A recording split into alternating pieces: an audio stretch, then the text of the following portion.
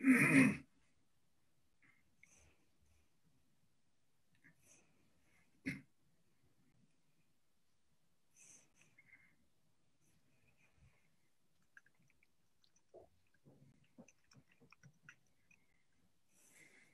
everyone, and uh, welcome to this uh, seminar uh, organized by HKUST's uh, Institute for Emerging Market Studies. I'm your moderator, uh, Donald, and it's a real delight to welcome all of you uh, from wherever you are around the globe. today, we are extremely pleased to have with us the authors of this wonderful new book called Rivers of Iron, Railroads and Chinese Power in Southeast Asia. Uh, I've asked, uh, they're all old friends and or colleagues of mine. Uh, it's great to uh, connect with them uh, over Zoom. One of the great things about uh, doing this over Zoom is that we can reach out to uh, participants from and audiences from all around the world. So, um, so let me briefly introduce to you our three authors as well as uh, the speakers in today's uh, seminar. we will first ask Professor David Lampton, who's the Senior Research Fellow at the School of Advanced International Studies, Foreign Policy Institute, and Professor Emeritus at Johns Hopkins SAIS. Uh, he was previously at Stanford University's Asia Pacific Research Center uh, till earlier this year.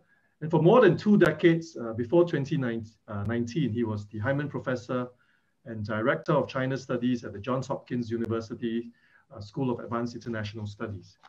Uh, after Professor Lampton speaks, I will invite Professor Selina Ho, who is assistant professor and chair of the Master of International Affairs program at the Lee Kuan Yew School of Public Policy. Uh, Selina is a good a friend and a good colleague of mine when I was uh, serving at the LKY school. And, and certainly, last but not least, uh, would be Professor Cheng-Chwee, uh, Cheng-Chwee, Cheng Kuik, uh, who is uh, associate professor and head of the Center for Asian Studies at the National University of Malaysia's uh, Institute for of Malaysian and International Studies. He's also concurrently a non-resident fellow at Johns Hopkins Foreign Policy Institute. Uh, so without further ado, I will invite Professor Lampton to and, and his fellow uh, authors to talk us through this wonderful new book. Over to you, Professor Lampton. Well, thank you, Donald, and uh, thank all of you uh, for uh, participating in this. And I do look forward, as I know my two co-authors do, to a lively discussion and we'll be as responsive as we can be.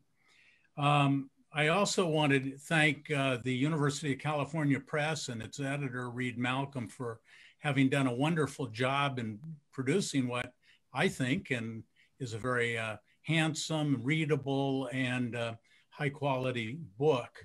Uh, so in any case, I want to thank the University of California Press. And of course, no project uh, of the scale and magnitude of this, which is uh, basically a five to six year project covering uh, eight to nine countries, depending on how you uh, count. Uh, you have to take into account the financing of this. And I want to thank the Smith Richardson Foundation.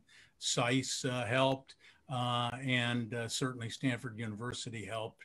Uh, it was a complex funding and administrative job to, to carry out a comparative project of this magnitude. And I want to thank all the people that made it uh, possible.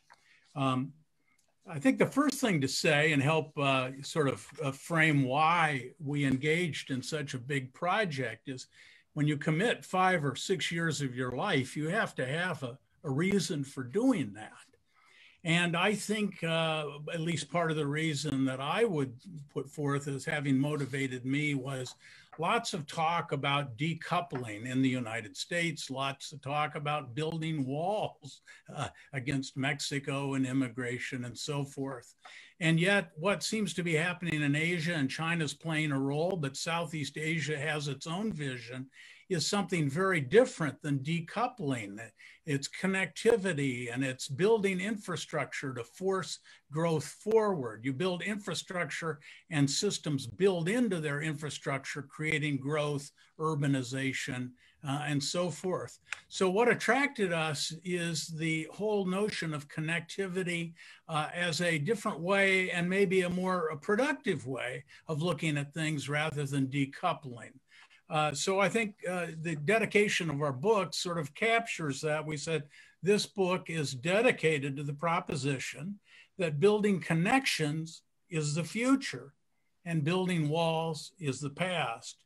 So I think this was in each of our own ways, to be sure, a kind of motivating vision as we put in the long hours of uh, interviewing, documentary research, and so forth.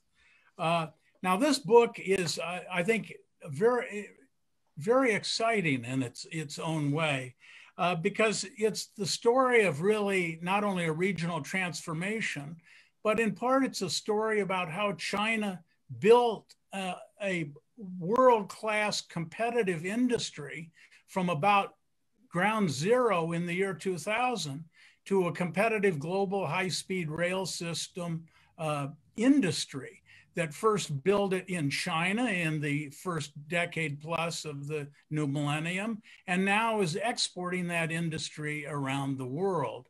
So it's a it's a, an example in effect of industrial uh, policy. But the other major point, and my colleagues will elaborate, I'm sure, is that this is while it's often spoken of as being part of the Belt and Road Initiative, this is a vision that the colonialists in the late 19th and early 20th century in Southeast Asia had. It was adopted by the newly emergent uh, governments and democracies and modernizing regimes after colonialism, after World War II. And this is an idea not born in China, but is in fact born in Southeast Asia. And it was only the convergence of this Southeast Asian vision and the capabilities of China to provide money, technology, and sort of integrative capacity. So this is a, to the degree that it's a, an overall endeavor, is really uh, one that shows that Southeast Asian countries have their own agency. They're not just being acted on by uh, China. Now, this, uh, uh I put up, can we put up the map here? This vision is really, uh, uh, really quite striking. This is just a sort of um, brought, there are many spur lines and other existing lines uh, that would be on a comprehensive map, but this is the vision of what we might call high speed rail and conventional rail, albeit much more uh, rapid and modern than many of the lines that exist there.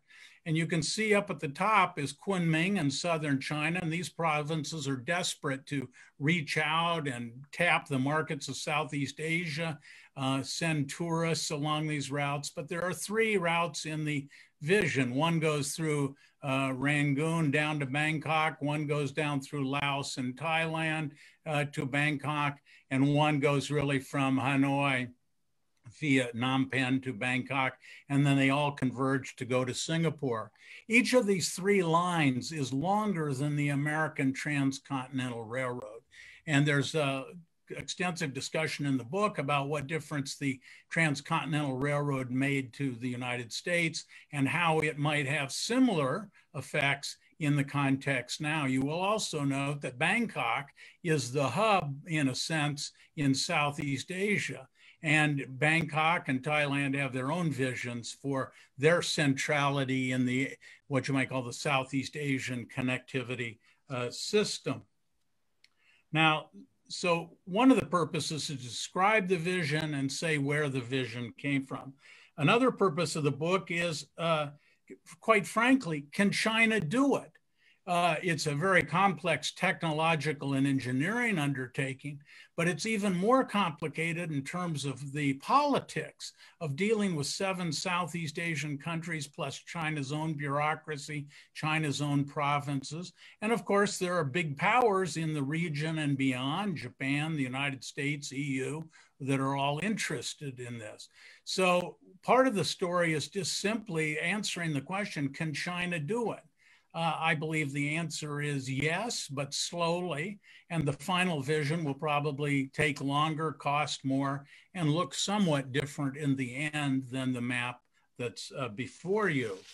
Uh, also, this book is really about what is, does China have a strategy? And if so, what is that strategy? And it's it's a complicated story but i would say beijing has a vision of china as the economic hub and human and material resources flowing from china's entire periphery of which the southeast asia is one part there are actually six what are called regional corridors and this is only one of them uh, but it's China as the hub for the movement of human information and material resources and political power. Uh, and so the then there's another aspect, and that is, well, that may be Beijing's vision, but how does this get implemented? And the reality is that China's a messy place and has lots of provinces, state enterprises, entrepreneurial individuals, uh, and it, the localities and companies give a dynamism to this. So there's a general vision, but a very spontaneous entrepreneurial aspect to this whole thing. Uh, I think a whole nother set of questions is how is this going to reshape the uh, geoeconomics of the, the region and of China? And uh, the long and the short of it is, is that I think uh, this is going to create an integrated regional economy. And that raises the uh, issue for the United States, uh, for India, for, for Japan, for South Korea, really for the global economy is how can these other parties participate so that we build balanced connectivity, not just north south flowing towards China, but how do we build balanced connectivity going east west from India through, through Burma, through Thailand, Cambodia, Vietnam, and link up to Japan through maritime routes and South Korea. So the vision that China has is itself is a hub. And I think the challenge of the West and other powers in the region is how to balance this vision, not oppose China, not try to obstruct China, but to supplement and balance the structure that is being uh, built. Uh, now, uh, the rest of the book, uh, the, the, book is organized in, in eight chapters, and my two colleagues will talk about various aspects of that, uh, uh that organization. But certainly, uh, implementation is uh, one of the big issues. Negotiations a big issue. How did Ch China and its partners arrive at agreements, or why didn't they? And another very important question is what is the agency? Do Southeast Asian are, countries, are they just putty in the hands of, uh, of Beijing to be manipulated and so forth? Or do they actually sometimes uh, derive their own advantages and have their own le le uh, leverage uh, over China? And I think what we find is that many of the states in Southeast Asia have substantial control over their own future let me just wind up by saying, you know, what are some of the other big issues that I think this book speaks to that are of uh, current importance and interest? Certainly, one question is what is the role of infrastructure in development?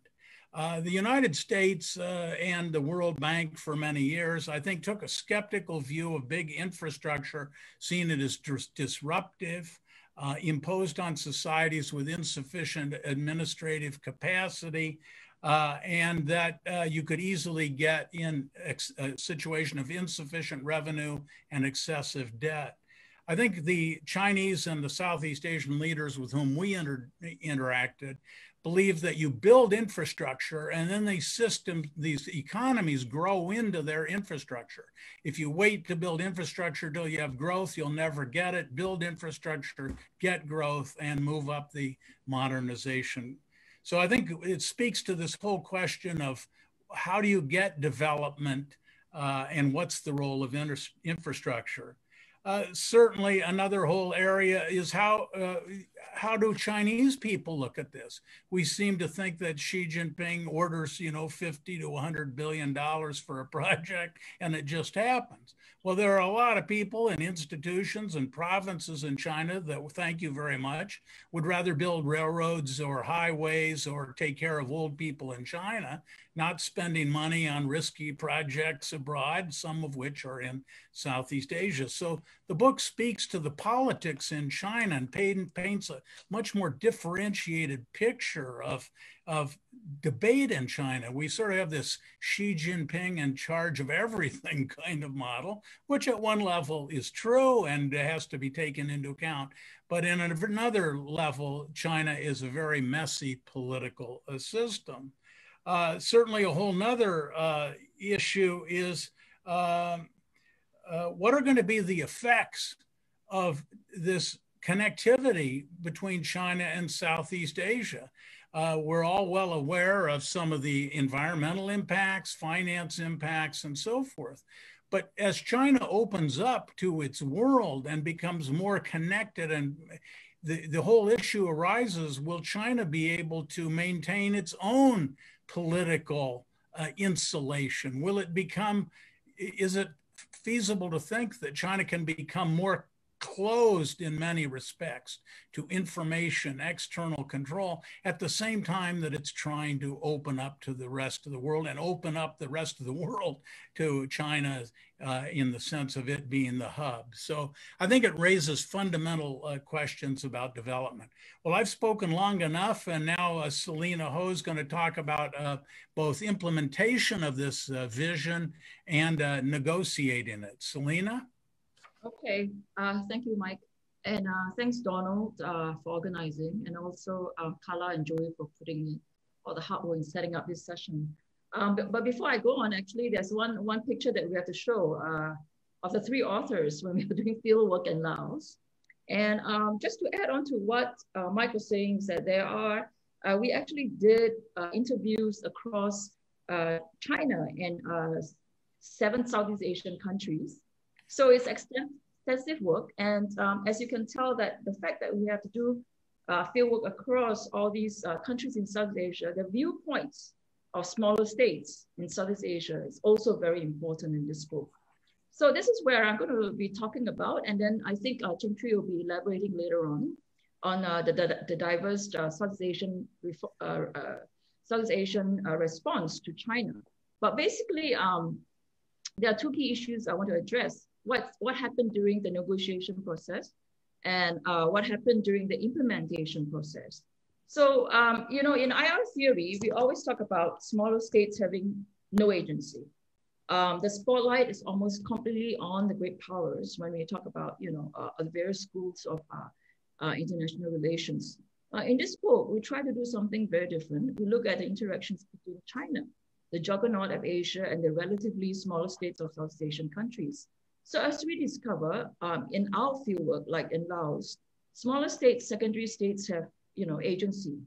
Um, there are theories on small states behavior, but it is actually not very well developed uh, in terms of um, uh, how much the, the literature has actually progressed.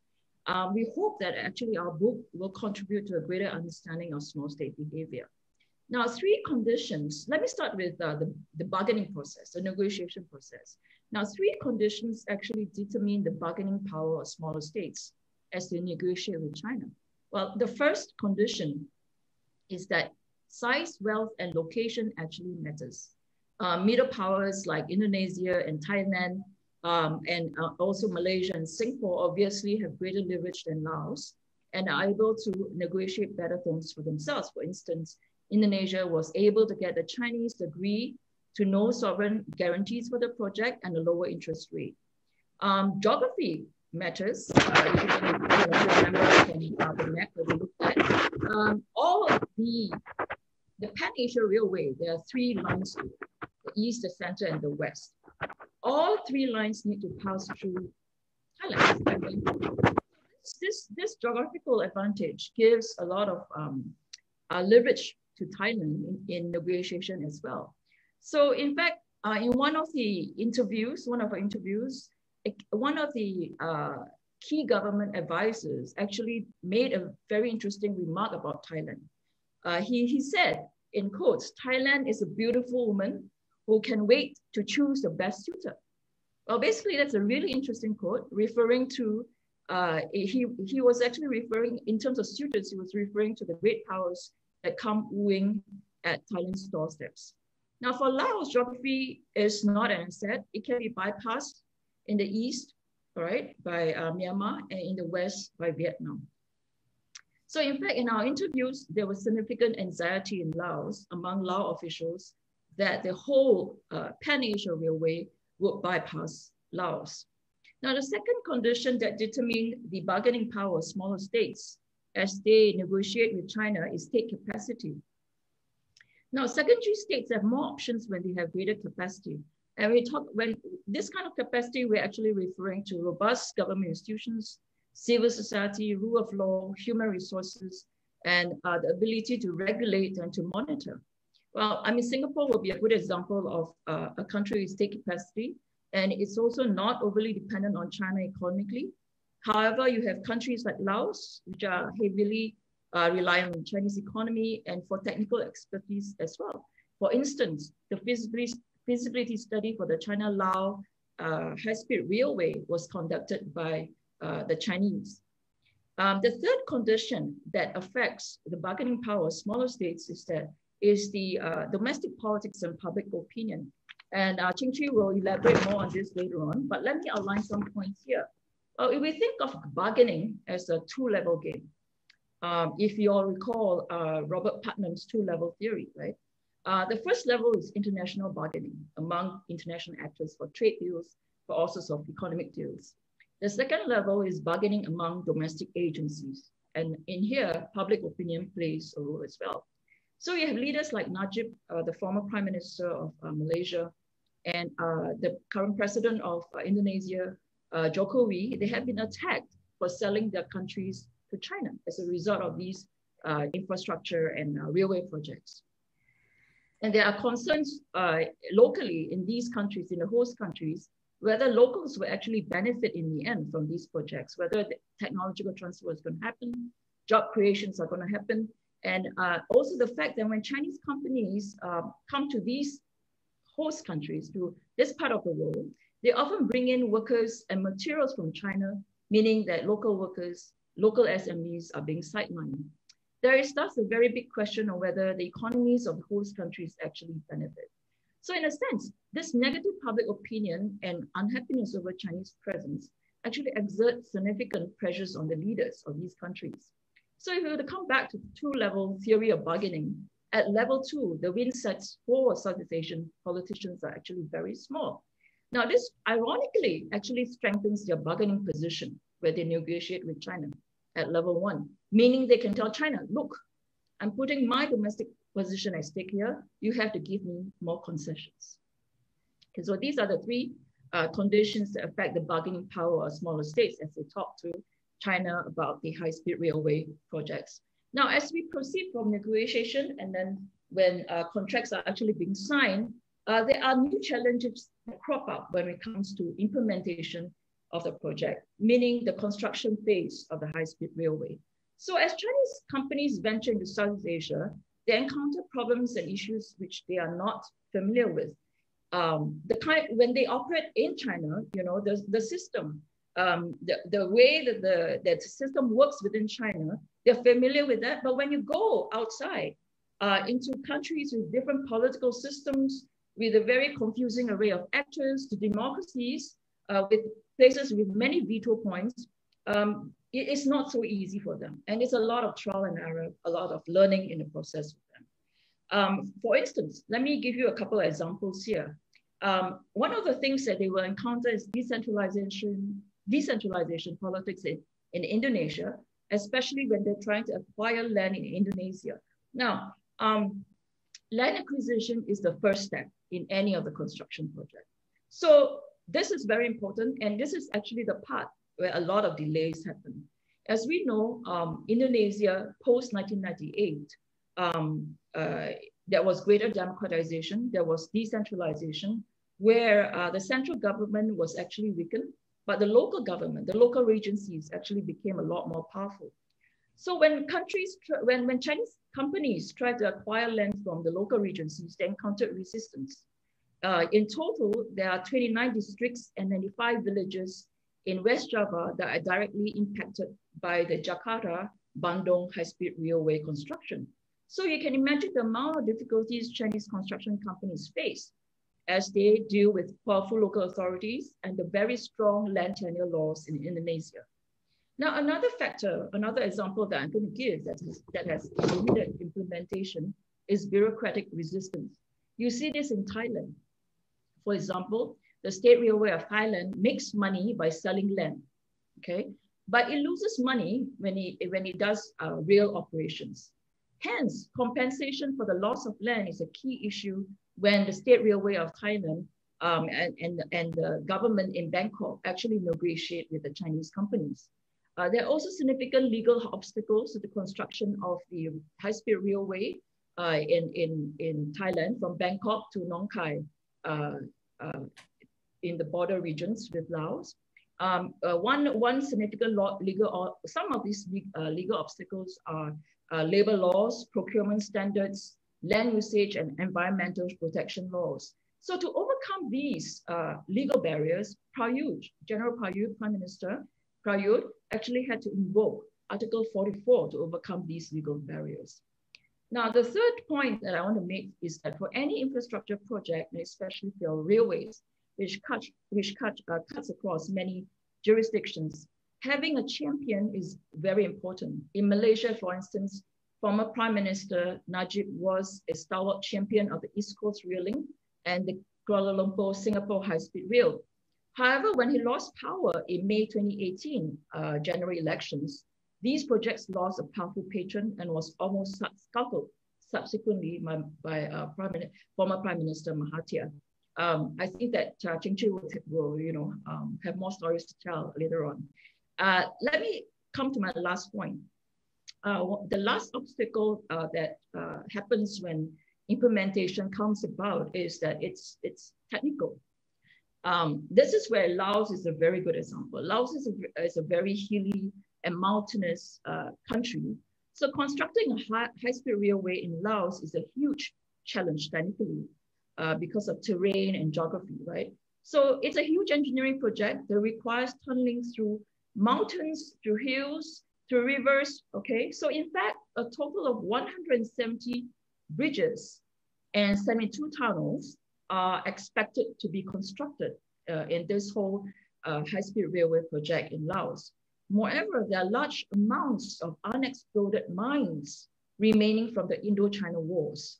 So uh, one very uh, rather rather funny, well, not quite funny as because the topic is, is serious, but uh, it was a quip from one uh, Chinese railway engineer working on the project. He actually said, in quotes, we should have the US demine the area. so, so this is one of the one of the uh, you know one of the interviews that we had. Now, so in fact, there are actually significant challenges when when China goes into Southeast Asia, whether it was in bargaining, whether it's in implementation. Uh, the, the image that smaller countries, secondary states have no agency, I think it's, it's, it's something that we did not see at all in the fieldwork that we conducted through um, the Southeast Asian countries. Um, Cheng-Chwee, I think we'll, uh, I'll turn now to Cheng-Chwee, uh, who will elaborate on the diverse responses of uh, Southeast Asian countries to China and also the geopolitical and geoeconomics competition with other major powers. Um, thanks, Selina, and thank you, uh, Donald and Carla, for hosting uh, this event. Um, based on what have been presented by Mike and also Selina, let me just make uh, two quick points. Uh, one point is about internal and the other one uh, external. And that is uh, about the internal and external conditions that underpin smaller countries' responses to China's railroad diplomacy or the broader context of China's Belt and Road related uh, infrastructure diplomacy. So first thing first about the internal uh, conditions, and this is uh, the aspect that I'm going to uh, spend longer time. And for the second part, the uh, external conditions, I would uh, keep it brief depending on the time. So about the first point, the internal conditions, that's really about domestic political factors that really explain why smaller countries have responded differently. Selina early on has already mentioned a number of uh, domestic internal conditions, such as, uh, for example, uh, the state capacity, the location, and also uh, public opinion. And I think all students of political science would also highlight a number of other internal attributes, for example, leadership, for example, domestic political systems and also state society relations. So for us, uh, for this book, we actually uh, try to uh, categorize all these internal attributes into two main variables. So you could see uh, from this uh, diagram, two times two uh, diagrams, we have uh, two uh, axes here. One is uh, what we call as a legitimation axis. The other one, pluralization.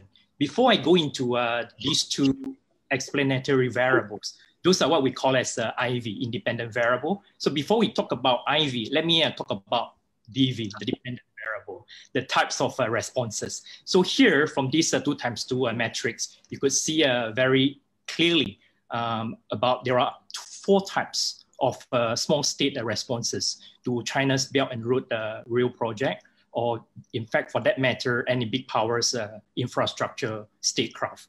So here we have four types, and you could see the examples that we use are basically Laos, Malaysia, Thailand, and Vietnam. And even though uh, we focus just on uh, these four countries, I would say that uh, the typology and also the factors that explain all these differences apply to other ASEAN countries. And in fact, uh, for other smaller countries or secondary states' uh, responses to uh, economic inducement when it comes to infrastructure interaction or partnership. So let me highlight, um, you know, um, these four types. So the first type, Laos represent in the quadrant one, the enthusiastic uh, embrace. And then uh, the quadrant two, in the case of Malaysia, it's a receptive, but with a cyclical recalibration. So meaning that these two uh, categories, they are more receptive than uh, the other categories of Thailand and Vietnam about China's back uh, infrastructure development. But the difference between Laos and Malaysia, quadrant one and two, is that uh, one, it's uh, more stable. Once decision is made, it would stay, it would continue. And that's uh, very much uh, represented uh, by the case of uh, Laos, whereby Malaysia, even though it's also very receptive, but you do see a kind of a cyclical recalibration and so adjustment whenever uh, there is a government or different uh, elites are coming to picture, you do see some differences, adjustment. Early on, Selina mentioned about the case of uh, ECRL, East Coast Rail Link by uh, Mahathir 2.0. And in fact, uh, by the time uh, uh, Pakatan Harapan uh, government was replaced by the current Perikatan Nasional Plus government, you do see uh, some adjustment again. So all these ongoing stories uh, certainly, uh, uh, I would say, prove these typologies of quadrant one and quadrant two.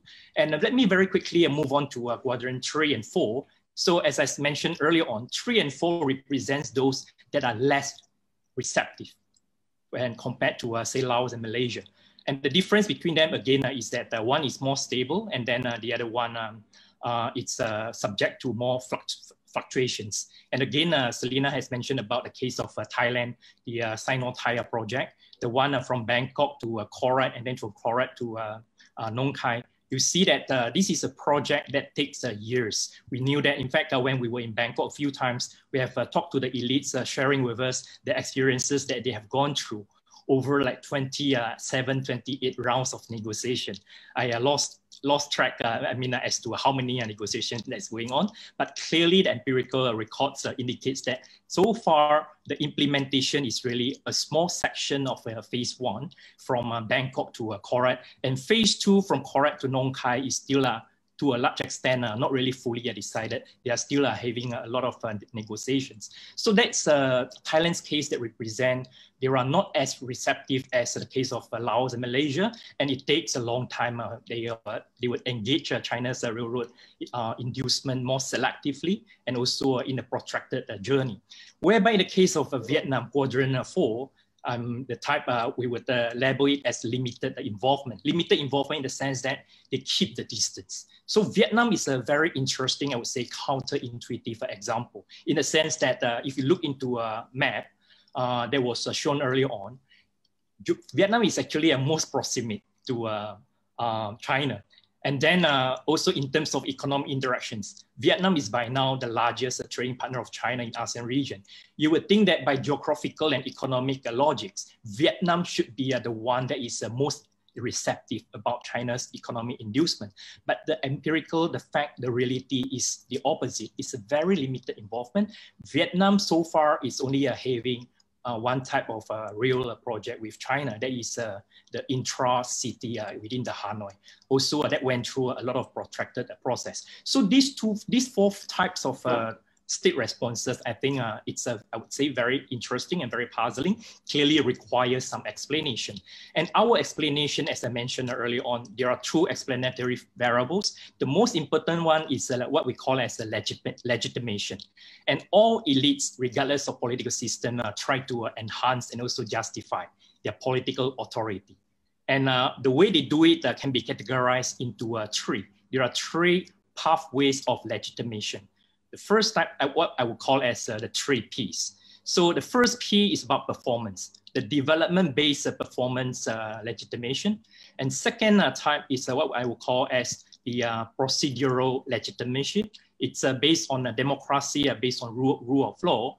And the third one, very tricky but very prominent these days, is about the identity-based particularistic legitimation that includes nationalism, xenophobia, so on and so forth. So these three uh, pathways of legitimation, performance, particularistic, and also procedure, play a big part in explaining why all these uh, small, similarly situated uh, smaller states have responded uh, China's Belt and Road based uh, infrastructure differently. So our, our observation or our finding is that uh, we need to pay attention to the relative degree of uh, performance-based legitimation vis-a-vis uh, either identity or vis-a-vis uh, procedural.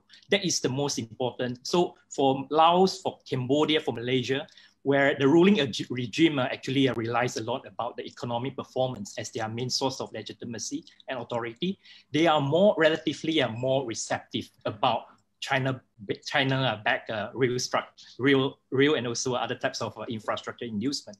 So in comparison, uh, Vietnam, um, you know, they have uh, in, in, in addition, performance legitimacy clearly is uh, relevant. But in the case of Vietnam-China context, the anti-China nationalism play a big part in actually offsetting or limiting as to how far Vietnam's ruling elites, regardless of the leaders, should go. And in the case of Thailand, it's not so much about anti-China nationalism, but Thai uh, does have a strong sense of uh, identity. So it's about the uh, Thai wants to uh, keep the autonomy. So uh, in a lot of uh, interviews that we conducted, a number of policy elites, they shared with us that this is a, a, Thai project, so it should be negotiated in Thai terms. So at the moment, we might need China externally and internally. But I think precisely because of the perceived dependency of the military regime on China, the more, uh, the stronger reasons that the military uh, government in Thailand need to ensure they, they are not uh, completely subjected, subjecting themselves to uh, China's uh, economic inducement. So these, uh, all these examples show very clearly that uh, the main explanatory variable of uh, uh, relative degree of development-based legitimation. It's uh, the most important uh, variable. But that's not uh, all, because of this variable also is being conditioned by another relevant factor, which is what I've just mentioned about the degree of power pluralization. And that's really about how the political power in one country is concentrated or contested across inter-elite and also uh, state society relations. So in countries, uh, Laos and Vietnam, one party uh, state, once decision is made, either is yes or either is no, it will stay on.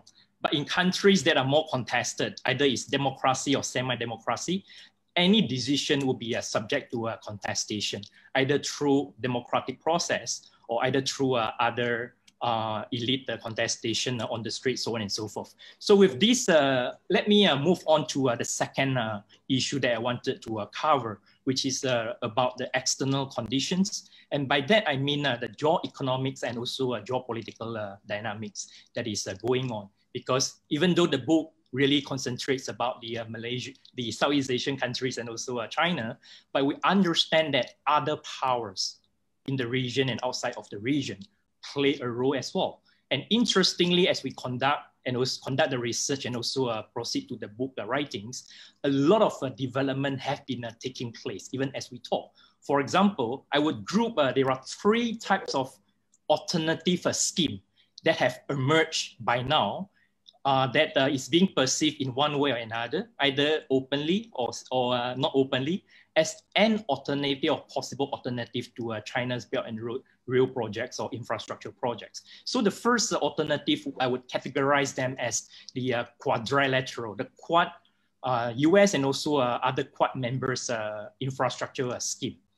And the second type is what I would, uh, I would uh, categorize as the uh, EU connectivity uh, strategy. And the third type, interestingly, I would argue, is the uh, China related. Uh, China actually 2018 onwards proposed a new uh, arrangement, what they call as the third country cooperation. So third country in the sense that it's about China, host country, and another possible uh, country. And uh, Japan is very much a kind of a listed and being uh, talked about as a possible uh, third country uh, partner. So I do think that these three arrangements are gaining momentum. Which one will gain more prominent? I think it's yet to see. But let's just take a few examples to further illustrate uh, things that we observe uh, have been uh, happening. I think the best example would be a United States um, mechanism. So early on, when we talk about the Quad-based initiative, I would say it was uh, Japan, especially Abe's uh, Japan's uh, that hold the fort in trying to come up with a number of arrangements uh, under the banner of uh, partnership for quality uh, infrastructure to compete with China. So this is being a play out most prominently, I would say, in the case of Jakarta, Bandung. But in fact, in Thailand, in Malaysia, Japan factor is really a factor. But for the long time from 2013 to, uh, from 2013, 14, 15 up until 2018, when Japan was the key uh, partner, but 2018 onwards, you do see United States and also uh, EU have also uh, joined this competition. So EU was uh, in 2018 come up with this uh, EU Asia connectivity, and United States at the same time uh, come up with the Build Act. And with that, we uh, saw that the last year US have, uh, together with uh, other Quad members, come up with the Blue Dot Network. And more recently, we also, uh, in the midst of uh, COVID-19, we have also uh, uh, heard that, I mean, the economic prosperity and network. So all these expanding the competition on not just infrastructure, but also supply chain competition. And all these geo-economic, geopolitical competitions, I think will go on. And I think it's uh, fair to say that China's uh, Belt and Road in Southeast Asia and beyond are clearly a kind of a catalyst that are provoking, inviting a lot of uh, competition that I've just uh, described. I would uh, stop here. Thank you very much. Mm, thank you so much, uh, Professor Lampton, Selina, Cheng-Chwee for really a quite you know there's, there's there's a lot to cover, and I think you did a fantastic job sort of giving us a bird's eye bird's eye tour of the book, and I think it's uh, extremely well thought through and uh, very well organized. Uh, if I could just interrogate a little, challenge a little uh, this starting proposition that integration, connectivity, uh, these benefits of infrastructure are are, are, are, are a given. Uh, I'll just mention two things, right? The first is that um, much of the Chinese railway infrastructure is in uh, archipelagic, sorry, is, is in the mainland Southeast Asia. And of course, in Southeast Asia, the traditional divide has been archipelagic Southeast Asia, Indonesia, Philippines, uh, and Malaysia and Singapore. And with mainland Southeast Asia, Thailand and the CLMV countries. Uh, would these Chinese finance infrastructure, Chinese-led infrastructure projects actually deepen that that divide uh, in Southeast Asia between the mainland parts of Southeast Asia and the archipelagic, archipelagic parts of Southeast Asia. And to the extent that it does, how much does that eat into the integration connectivity benefits of uh, Chinese railroads? Uh, very interesting to me also, you didn't mention ASEAN at all. None of you mentioned ASEAN at all, because one of the original goals and still the goals of ASEAN is to hold Southeast Asia together, at least, uh, at least in uh, IR, international relations, and to deepen integration across uh, uh, the region. Uh, does, does, do these railroads um, signal the demise of ASEAN and, and, and, and a reversion, as it were, of the region to these two distinct geographies, the maritime part of Southeast Asia and, and the archipelagic uh, parts of Southeast Asia. Also, uh, still on the question of whether infrastructure boosts integration, we know from the experience of high-speed rail uh, uh, railway in, in, Japan, also in China, it, it, it is that it tends to concentrate wealth, resources, uh, what we call agglomeration effects. It tends to concentrate wealth, resources, talent, people in the major hubs. And so what is the impact of that in secondary cities uh, and, and, minor cities, you know, uh, in Southeast Asia? Do you address that in the book? So I'll be interested to hear your thoughts on, on these two questions. Uh, maybe I'll take a stab at uh, the ASEAN part and then count on my colleagues to um, uh, address the other questions you raised and uh, um, draw out implications in greater depth. Um, first of all, the book does talk a lot about, and, and a lot of our, or at least a significant fraction of our interviews were in multilateral organizations, usually representatives in the countries where we were interviewing. So there is quite a bit of talk about the role of ASEAN. Also, when uh, in my opening remarks, I said this is not an idea principally of Xi Jinping imposing on Southeast Asia, but this was a set of ideas that came out of both the colonial uh, experience before uh, World War II, and particularly in the late 19th, early 20th century. Uh, and then it was adopted uh, in the post uh, World War II era as uh, countries are taking shape and modernization occurring. that the when you got to ASEAN, you had the 2010 ASEAN connectivity plan and mm-hmm. so forth. Also, there's a lot of discussion of Mahathir's role and his vision. And when we interviewed him, he talked a lot about growing up uh, and seeing the role that British railroads had played in his area in development. So I'd say the story of Mahathir is uh, very important. It's no accident that he in, uh, uh, put a blurb on the back of our book. Uh, uh, so uh, I think that, and as Selina said, these countries have agency. And we shouldn't say just countries, but to some considerable extent, re regional and sub-regional organizations play a role. So the book, I think, does address those issues. The, the other thing that I would say is that um, you mentioned, Donald, the agglomeration effect. Uh, and that's true. And that was sort of what we referred to as the field of dreams idea.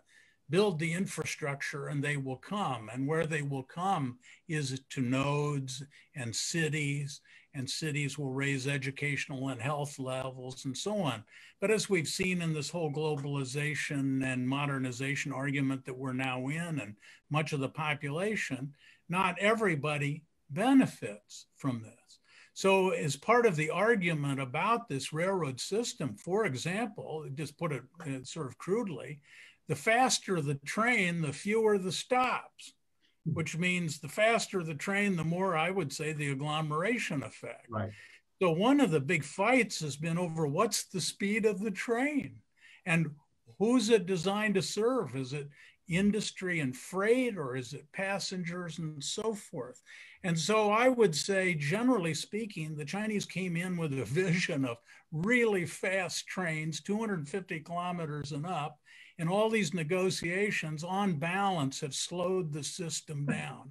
So I think you're right that agglomeration, inequality, and so on is, is one problem, but it also depends on the kind of system you build and also the surrounding political decisions you make. Uh, Mahathir, when he was in uh, after his May election in 2018, uh, negotiated on the line that Cheng-Chwee mentioned, the ECRL, uh, to get more stops and go through more provinces or states in Malaysia uh, to bring more benefits. So these benefits tend to get spread out as the negotiation process goes on.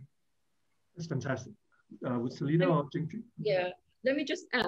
Um, just in case that uh, you know we give the impression that we are we are very, we have a very rosy picture about no, I'm not, I'm not suggesting that. so in case anyone gets the impression that it's not so, because uh, that is, as uh, Mike was saying, there is a lot of inequalities uh, that will happen. And in fact, uh, when you read the story about even like um, in Malaysia, right, when they're trying to do the, the Kuala Lumpur Singapore High Speed Railway, uh, you know, different states and cities are trying to get a piece of to be, you know, where the stations are, primarily because they don't want to be left out. And if you look at Laos, it's the same story that repeats itself. Uh, in Thailand, we do field work because there are certain places that are afraid of just being left out, meaning, meaning that they will not be developed, but you know, and then their neighbors will develop much mm. more than them. So mm. these these are the kind of phenomenon. Um, and also, I would just want to say, you know, our dedication, dedicated to the proposition that building connections is the future, building walls is the past, is actually really aspirational. and, uh, trying to be inspirational here. So, um, you know, we recognize the problems of uh, ASEAN centrality here. I think that's what you're referring to. Uh, one of the things we noted is that the, the whole Pan-Asia Railway vision actually has very little connection with the ASEAN Master Plan for 2020, 2025. Uh, I think they are starting work on trying to connect the two now, the infrastructure uh, program and the ASEAN Master Plan, BRI and, and Master Plan. But I think it's still in the early stages and we don't know how it's going to work out. And the other thing about the book is that, um, you know, the book is, is really the starting base where I think a lot of future work can come about, mm -hmm. building on what we have right now.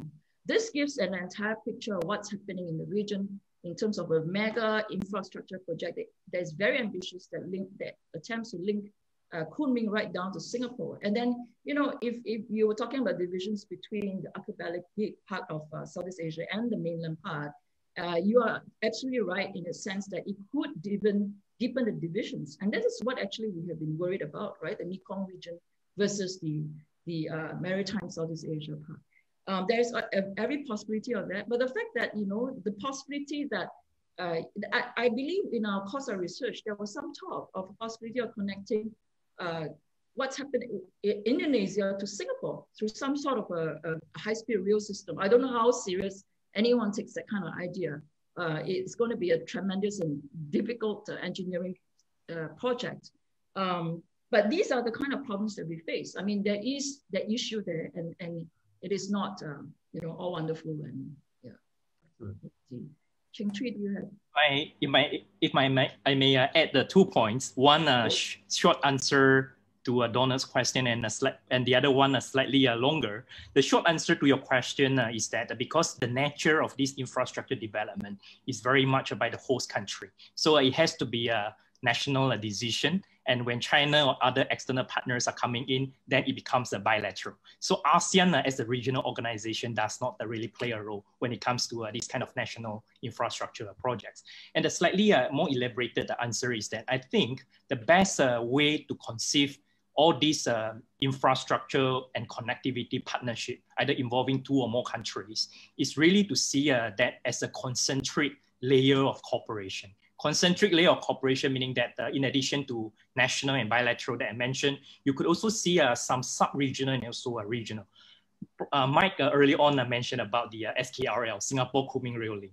This is a perfect example that actually, in a way, uh, kick off this whole dynamics of cross-border rail connectivity project because of, we know that despite the name Singapore Kunming, the initiative is not proposed uh, by China or Singapore, but by another country, Malaysia.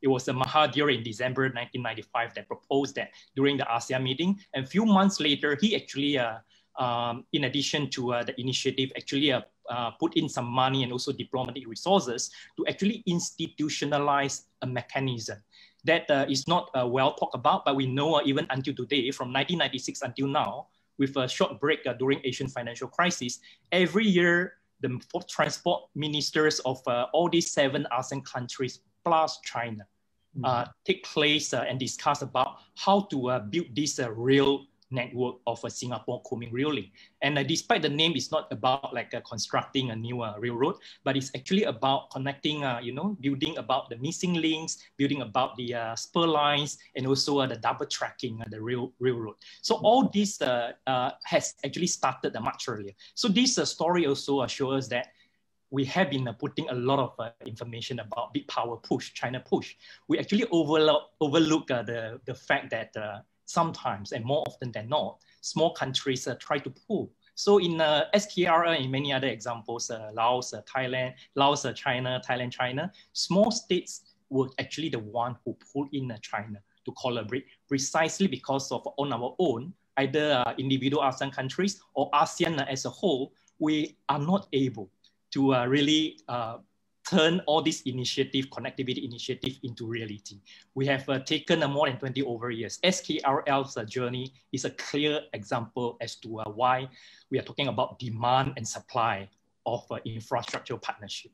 Belt yeah. and Road would be a part of the part uh, of the supply, but all those alternative schemes that I talk about, I think will increase the, the supply precisely because of at the regional level, national level, they have always been some demands. Yeah, I, yeah, I think that's one of the main arguments uh, of the book that you know small states, small countries have more agency than we give them credit for, and and, and especially small states, uh, you know, exercising as much leverage as they have and acting somewhat collectively can uh, bring about very different outcomes. Uh, and, and of course, when we talk about BRI, the tendency is to view China as this hegemon right? Imposing that trap diplomacy. And I think what your book challenges that that uh, that that myth, right? That that it is a one-way street. Uh, we've got a couple of related questions. In fact, we've got quite a good few, a good questions on the Q and A box. Uh, so one is a technical one, and Selina talked about the technical challenges. So how does China ensure that the system is fully integrated technically, right? With different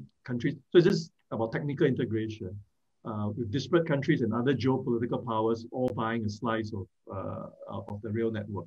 That's one. A second question which I have, which is somewhat related, is another of the challenges has been local reaction, which I think both Selina and Cheng-Chwee alluded to.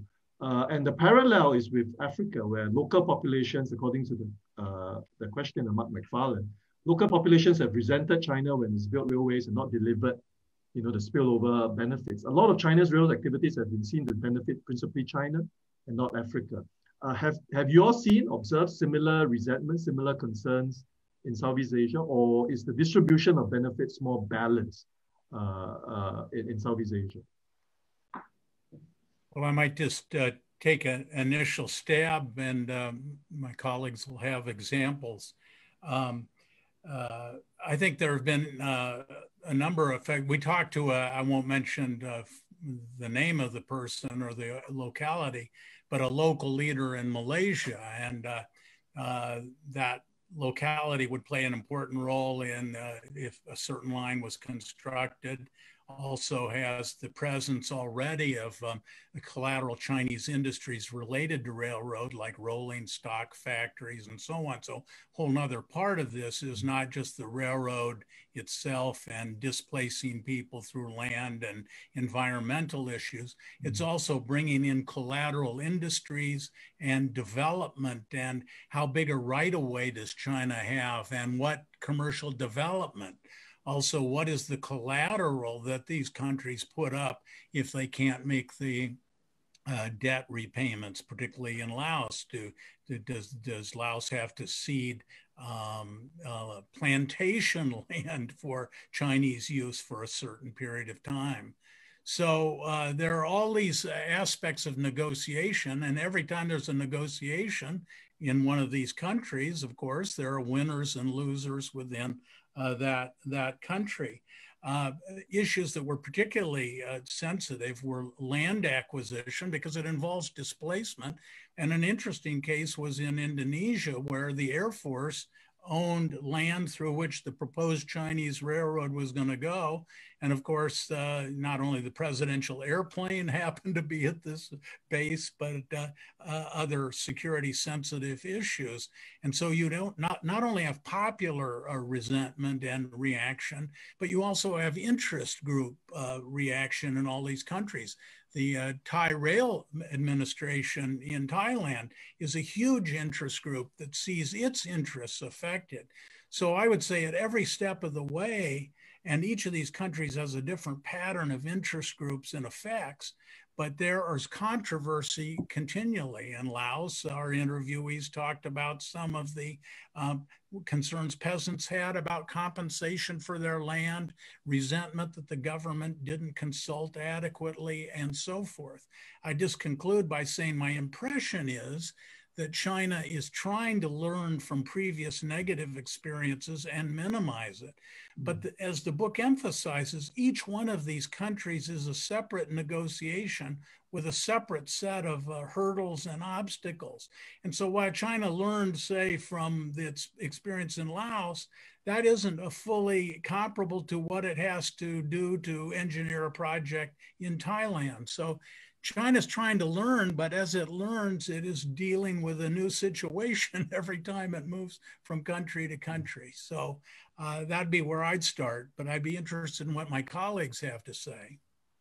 I think I've actually, uh, I, I, if I may, I actually, um, I think I spoke quite a bit on, on the public opinion. Uh, generally, the, the sentiment is negative, even in a country like Laos. Uh, there were a lot of concerns about whether people, uh, local workers are going to benefit, uh, what are the implications uh, for displacement uh, uh, of, of villages that have been displaced. And there were some quarrels over compensation issues, which actually delayed um, the land acquisition as well.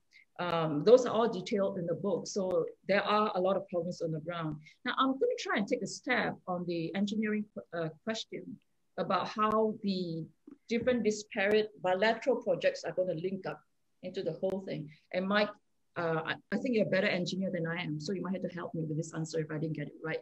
So um, from what I understand, from our, what we understand is that yeah, the standard gauge is about 1.1 meter, and then the high-speed railway is about 1.4 meters. So if you generally build 1.4 meters, somehow the system will link up. Uh, this is a non-engineer speaking. For example, let me give you an example, right? So in, in Jakarta, in, in uh, the Jakarta-Bandung Railway, Jokowi has been now talking about extending from Bandung to Surabaya.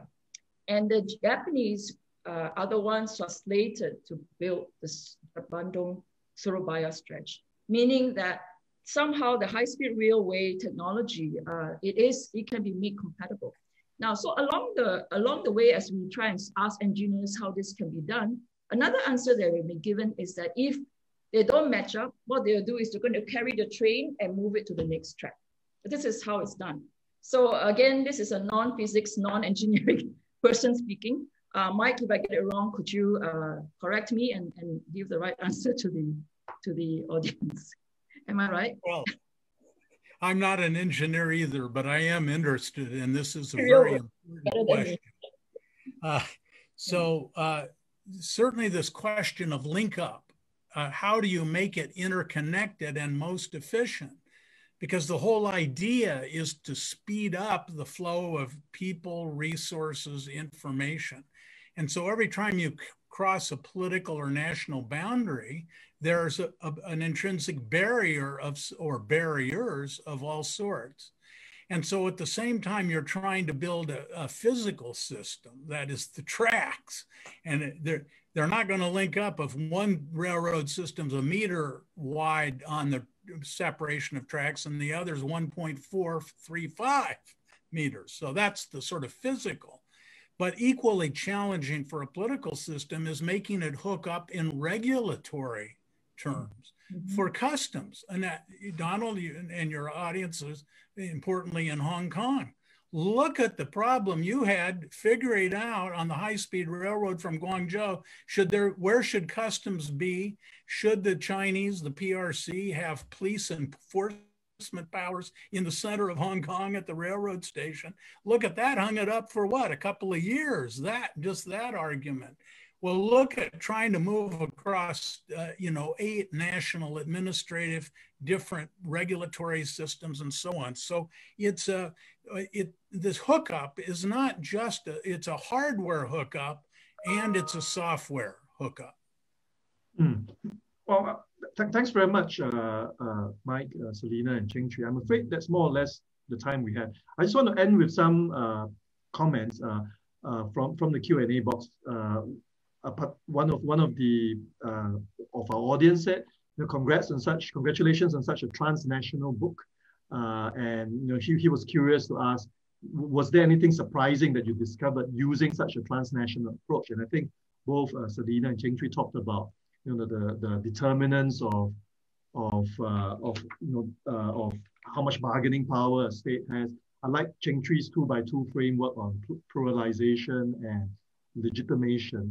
Uh, so, so I think those, those were things you, uh, you all discovered. Uh, so, so lots of uh, other interesting questions also. Uh, yeah, maybe that we'll end on this. And, uh, and we really have to keep this short. Uh, what do you think would be the impact of the pandemic on financing? I think although the BRI hasn't been, been, been postponed or shelved, I think we can all agree that it's probably going to be delayed, right? Then and there's going to be a shift away from big ticket infrastructure projects to more, you know, uh, transfer of technical expertise. You know, uh, China's really put a spotlight on the digital part of the BRI as well as the health BRI. Uh, so, so do you think the pandemic would change in any way the China's calculations on, or, or not just China's, but also Southeast Asia's uh, countries' calculations about the viability and long-term sustainability of these railways?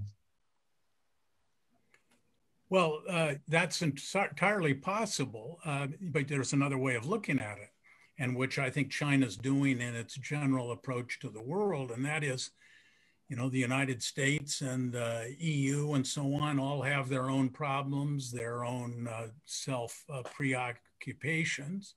Uh, and this is the moment where China actually has, relatively speaking, come through this, at least as of now, in good shape uh, relatively good shape. It came through the global financial crisis in relatively good shape. So, in a kind of way, there's a thinking in China every crisis is an opportunity for us to make up uh, lost ground. So, I think that'll be one uh, impulse in China. On the other hand, as we point out in the book, there's a big debate about domestic needs, and certainly COVID raises the issue of relative allocation of money outside China versus inside China. So I think the impulse to be more selective on programs, do um, more well thought out programs, less uh, risky ones, uh, that there'll be more caution. But I think there is that impulse that this is the moment for China to um, move up in relative terms. And so, yes, I think there'll be retrenchment. And I would just end this is maybe more a hope than a, a prediction. Uh, but that maybe at this moment, we're, I don't want to say overestimating the long term effects of COVID, but I think things will look different once where there's a globally available vaccine. Uh, and there will be, I think, uh, not abandonment of every idea that existed prior to COVID. Let's let's put it that way. Um, Donald, may I may I add? Um, so just um, I actually want to give an example. I mean, Laos, uh, the Vientiane to Boten uh, high-speed railway was only delayed for 23 days. Obviously, Laos have a less of a COVID problem, but the delay, I mean, but they rely on Chinese workers, right, across the borders and all that. So if it's any indication, the project was only delayed by 23 days, and they are still on uh, in time to finish the project in 2020, 2021 or 2023. I'm sorry, it escaped my mind but they're on time to finish the, the project. Um, and I think that the that the hunger for infrastructure is still there. So while COVID is playing out, I, I agree with Mike that I think generally not everything is going to change. There will still be that hunger and that thirst for infrastructure that other countries have not been able to provide for Southeast Asia. Uh, but I also want to acknowledge uh, Professor Ye Min's question. Professor Ye Min uh, from Boston University is a friend. Uh, she, that was a question about a transnational uh, approach to to, um, to the book. Well, I think that one of the differences in taking of just a solely US perspective or Chinese perspective, or even like a regional ASEAN kind of perspective, is that um, the for us living in the region, I'm, I'm not sure I'm not sure whether anything is really surprising uh, in a sense because we live in the region and we know that how different each country is. But if you're coming from a country, a big country like the United States, if you come from a big country like uh, China, you know, uh, the when you look at countries in South Asia, you think of you tend to think of them as one uh, monolith, as as one one one. Well, how do I put it? One one type, right? But as as as we discover, and um, well, not so much for me and Cheng-Chwee to discover, but uh, the differences are there, and so are the similarities. And what this kind of cross-national uh, project actually facilitate comparisons on several levels. on the differences and the similarities in the way that we view infrastructure, the way that we view uh, China as a power, and the way that we view external powers as well, uh, including the United States. Um, you can really see the diversity uh, instead of just uh, attributing one set of behaviors to small states. And uh, in, in cross-border projects in particular, you can actually see how a foreign power can penetrate across borders into the domestic politics of these smaller states and the impact and effects they produce. I think these are some of the key things that we find, but um, I wouldn't say that it really surprises any of us actually in this group. Um, Cheng-Chwee and I are from the region. Uh, Mike is not from the region, but he has deep knowledge of the region. So I wouldn't say that it actually surprises us that much. Mike is an honorary Southeast Asian. Cheng-Chwee? He's an Singaporean. I'll confess, I was a little surprised. Let me just uh, make two uh, very quick points. Uh, one is quick clarification, and then uh, the other one, a quick point just to uh, adding to the discussion. The quick clarification is about the two times two uh, metrics that you mentioned. I'm glad that you like it, but the clarification is, is that this is a collective efforts by all three authors. Mike himself has been writing about the pluralizations years ago in the context of China. And then the quick point that I would like to make really is about the uh, earlier issue of uh, debt trap uh, that you actually uh, raised. I think I have always uh, thought that uh, that threat really it's a very powerful narrative, but might not uh, really as a very useful or comprehensive analytical tool to capture the dynamics because whether or not it's a debt trap or not really depends on the financial arrangement. Whether is that about loan or about investment, and whether or not the, the detail about the PPP, public private partnerships, so on and so forth. So uh, all these uh, issues, I think uh, you do see and observe some variations across the region. Yeah. yeah. No, I, I, also agree on the debt trap part. I mean, as Keynes, John Maynard Keynes said about 100 years ago, if you owe the bank 100 pounds, you have a problem. If you owe the, the bank a, a, a, million pounds, the bank has a problem. With many of these projects, China is the banker. It has as much right. to lose, if not more to lose, uh, than the parties it is lending to. Uh, so I, I, agree with you on the debt trap diplomacy. It's a very simplistic narrative uh, which appeals to this demonization narrative of, uh, of, of, China. And, and uh, as, as all of you so eloquently put it, uh, the reality is a lot more nuanced. It's a lot more differentiated. and I really want to congratulate all three of you for putting together such a timely book, such a, at, at, a time when we are, you know, saying what, you know, we, we tend to be very pessimistic about prospects after the pandemic here's one example where, you know, with infrastructure, with more much needed investments in infrastructure, uh, we can get the region to be a shining example, right, of of uh, of growth, of development, of of uh, of integration. Uh, at a time when you know we're so concerned about the divisions caused by identity politics, by nationalism, by particularism. So this this potentially not just a game changer, but but something which would boost uh, development and and and uh, and equality also uh, across Southeast Asia. So congratulations one, once again.